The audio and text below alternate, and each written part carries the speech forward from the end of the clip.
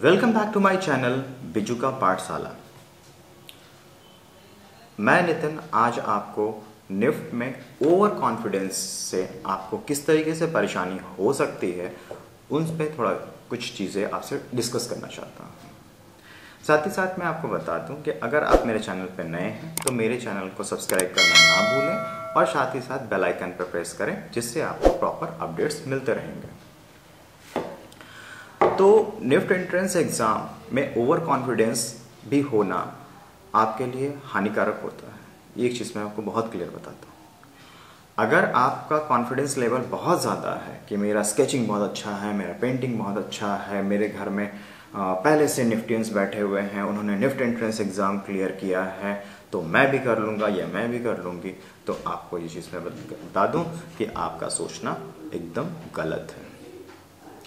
ना पेंटिंग ना ना पेंटिंग ना स्केचिंग या आपके घर में निफ्ट के एंट्रेंस एग्ज़ाम या फिर निफ्ट के पढ़े हुए बहुत लोग होंगे, उन चीज़ों से आपका निफ्ट क्लियर नहीं होता। है आपके अंदर में कितने कॉन्फिडेंस लेवल है, उन चीज़ों का आप अपने आप को, चीज़ों को जज करें। इसको मैं एक चीज़, छोटे स्टोरी के थ्रू बताना चाहता हूँ। निफ्ट के एंट्रेंस एग्ज़ाम में ओवर कॉन्फिडेंस नहीं होना चाहिए। आप एक नॉर्मल रहें, आपकी चीज़ें क्रिएटिविटी लेवल आपके कंट्रोल में रहे। आप किस तरीके से अपने आप इन्वायरमेंट में अपने आप को कनेक्ट करते हो, वो बहुत अच्छा चीज़ है। तो इसमें मैं आपको एक चीज़ बताता हूँ, एक स्टोरी के थ्रू एक बार एक हिरन था और उसे अपने खूबसूरत सिंह पर बहुत घमंड था। और उसमें क्या हुआ कि कि उसमें उसने एक बार वो बहुत बहुत ही अपने चीज़ों के लिए, अपने सिंह के लिए बहुत ही घमंड करता था। तो वो क्या हुआ कि एक दिन तालाब किनारे पानी पीने गया और क्या हुआ कि वो पानी पी रहा था। उसने अपने प्रतिबिंब, अपने छाया, अपने अपने मिरर इमेज को उसने उस पानी में देखा। और क्या हुआ कि बहुत खुश हुआ। ओवर कॉन्फिडेंस कि भाई मेरे जैसा खूबसूरत सिंह तो किसी के पास है ही नहीं। मैं बहुत खूबसूरत हूँ। मैं इस जंगल में बहुत खूबसूरत हूँ।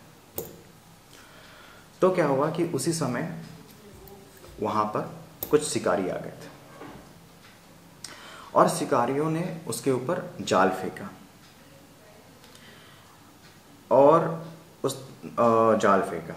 और उसे एक चीज़ मैं बता दूँ कि साथ ही साथ उसे अपने प्रतिबिंब में उसने पैर को भी देखा था जो बहुत पतले पतले थे। तो उनसे वो बहुत निराश रहा करता था कि वो आ, उसके पैर बहुत पतले पतले हैं, वो ढंग से दिखते नहीं हैं, छोटे छोटे हैं तो उस पर उसे बहुत दिक्कत होता था। तो मैं बता रहा था कि जिस तरीके से आप जाल उसने फेंका शिकारियों ने उसके ऊपर तो वो उसमें फंस गया, वो भागा, वो बहुत भागा, भागते भागते भागते एक जाके झाड़ी में छुप गया। जब वो झाड़ी में छुप गया तो क्या हुआ? साथ ही साथ उसको, जब जाल उसके ऊपर फेंका गया था तो बहुत परेशान था, झाड़ी में छुप गया था वो। उसमें ये हुआ कि कुछ देरी के बाद जब शिकारी वहाँ से चले गए तो वो जाल से कैसे निकले?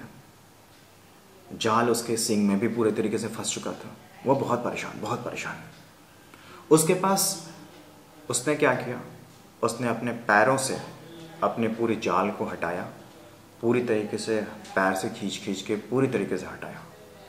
और फिर उसके बाद वो फिर वहाँ से सुरक्षित उस जाल से निकल पाया। तो इन चीज़ों से मैं आपको बताना चाहता हूँ, इस लेसन इस स्टोरी से ये आता है कि अपने चीज़ों पे घमंड ना करें, जो चीज़ आपके पास है। और साथ ही साथ ये बताना चाहता हूँ कि जो चीज़ आपका, जो आपके वीक पॉइंट्स हैं, वो वीक पॉइंट्स नहीं होते हैं, वो स्ट्रॉन्ग पॉइंट्स होते हैं। उनकी रिस्पेक्ट करना भी आप सीखें। और उस चीज़ को इस्तेमाल कर रहे हैं आप कि अगर आपको स्केचिंग नहीं आता है तो आप फिर भी आप निफ्ट एंट्रेंस एग्ज़ाम क्लियर कर सकते हो बिकॉज़ की क्रिएटिविटी जज यू प्रेजेंस ऑफ़ माइंड जज यू ठीक है? तो आप उस पतले पतले पैर से, उस नाजुक चीज़ों से भी आप अपने निफ्ट के एंट्रेंस एग्ज़ाम को क्लियर कर सकते हैं। तो आज का लेसन यही था कि ओवर कॉन्फिडेंस नहीं होना है और हमें निफ्ट एंट्रेंस एग्ज़ाम क्लियर करके दिखाना है। तो हमारे चैनल पर बने रहने के लिए बहुत बहुत धन्यवाद। ऑल द बेस्ट फिर मिलते हैं दूसरे नए वीडियो के साथ।